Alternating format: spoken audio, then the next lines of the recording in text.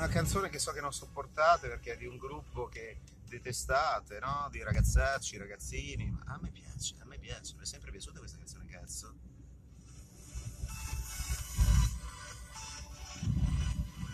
Oh, cazzo.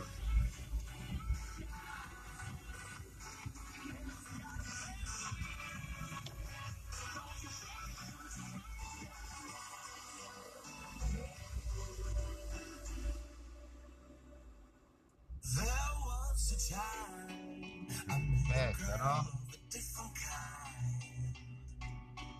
Tra l'altro quello esce adesso, aspetta, aspetta, che cazzo suona? Che cazzo suona?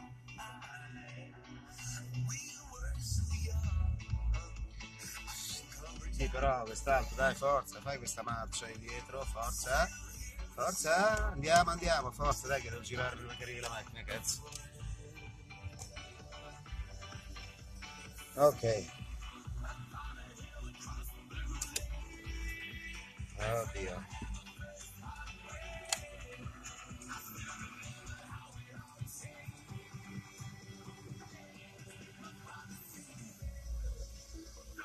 What are you to worry?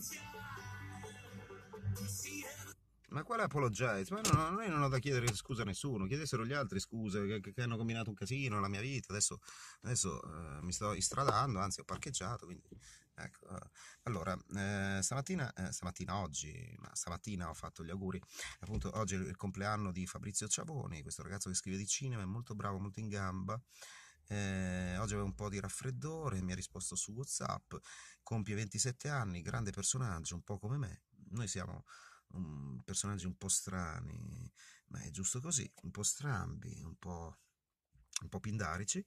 Compie 27 anni, gli ho fatto gli auguri, al che poi ho parlato con un ragazzo che uscirà a breve, ai primi di ottobre, con un cortometraggio, secondo me molto bello. Eh, ognuno, come diceva Stanley Kubrick, a proposito del significato, significato non c'è, di 2001 di Se nello spazio, ognuno sarà libero di speculare a suo gusto sul significato filosofico allegorico di quest'opera, di questo ragazzo, di cui ora non posso svelarvi il nome, ma siamo, ma che urla quella, quella, lì, ma siamo diventati amici perché lui è stato il primo, il primo in assoluto, oltre naturalmente ai miei genitori, eh, a comprarsi il mio libro su John Carpenter, Prince of Darkness, poi mi contattò su Facebook, da lì iniziò, diciamo, la nostra conoscenza, un ragazzo molto in gamba, molto più giovane di me, farà parecchia strada, poi da me sarà intervistato, scriverò la recensione di questo cortometraggio, eh, non posso eh, svelarvi il titolo, e, e dai, andiamo, andiamo, a questa festa del cinema di Roma, che, guarda, mi sto filmando, è inutile che guarda, a questa festa del cinema di Roma andiamo a vederci questo The Irishman, no? Eh, c'è il grande Al Pacino, no?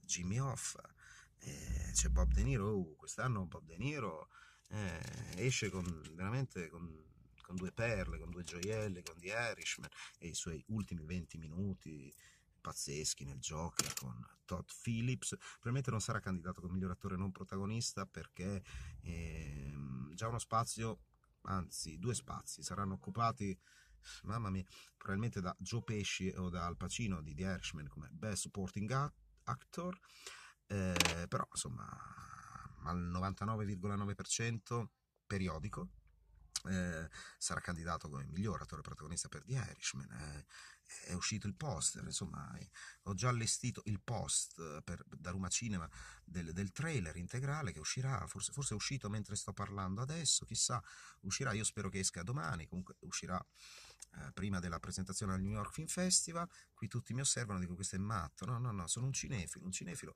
eh, appassionato anche di un altro tipo di cinematografia, ci sono attrici bellissime come Kendra Last, come Sherry DeVille, come Carla Cash, eh, io, io tutti i film, tutti i film loro, quasi, quasi tutti, quasi tutti. Questo non lo sapevate di me, no? io sono un fanatico anche di, diciamo, di quel cinema eh, um, ove, ove, si reca appunto Travis Bickle torniamo a Taxi Driver, eh, insomma, ecco perché qualche volta ho bisogno di orgasmizzarmi, no?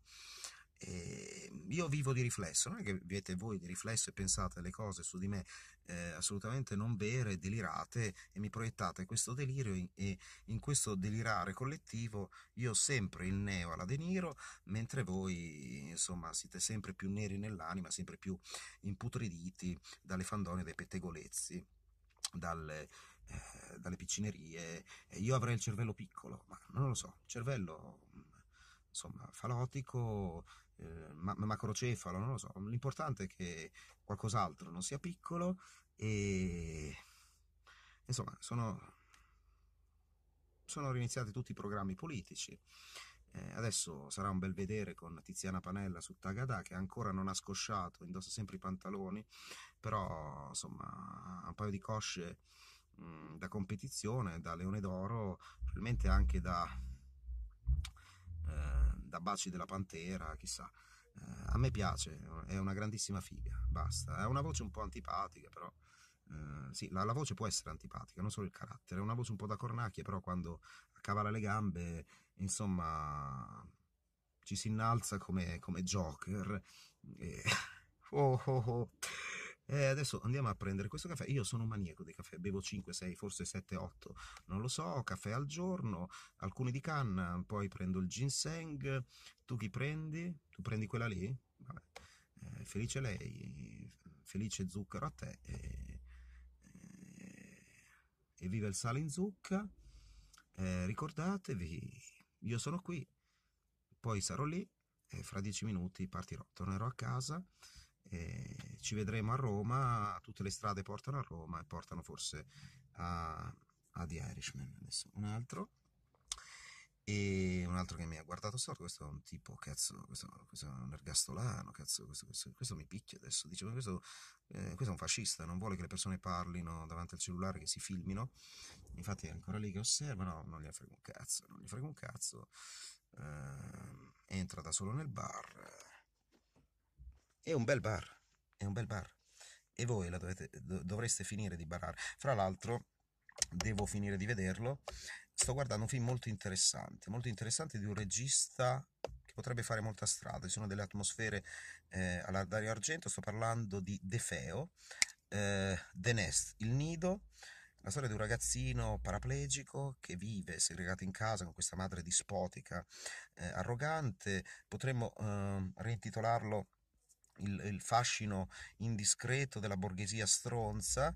Eh, chissà, devo finire di vederlo. Chissà se questo ragazzino prenderà il volo, eh, scapperà, fuggirà via da, da questa casa angosciante, asfittica, mh, mm, logorante, dove ascolta soltanto musica classica, Beethoven, poi incontra, sì, sì, sì, la serva, che la serva serve, mi diceva Totò, una, una ragazzina che lo aiuta e, e lui scopre anche la musica rock eh, incomincia a appassionarsi, probabilmente incomincia a vivificarsi, forse a camminare no, però eh, a, a, a, viversi meglio e a guardare al di fuori della eh, propria malattia, della, del proprio handicap fisico e quindi superare eh, ciò che è comunque insuperabile perché è stato causato da un, da un incidente stradale, il danno è irreversibile, lui è sulla sedia a rotelle, però con la fantasia potrà volare ove vorrà, quando vorrà e quando gli parrà. Quello che invece non sanno fare neanche le persone normali. Molte persone normali non sanno evadere dai loro schemi, non sanno sganciarsi dalle loro convinzioni e continuano a anchilosarsi in pregiudizi e quindi non sgranchiscono le gambe dei neuroni. Ci sentiamo, ci vediamo a Roma con The Irishman e andate tutti a farvelo dare nel culo. Dico ai cattivi, eh.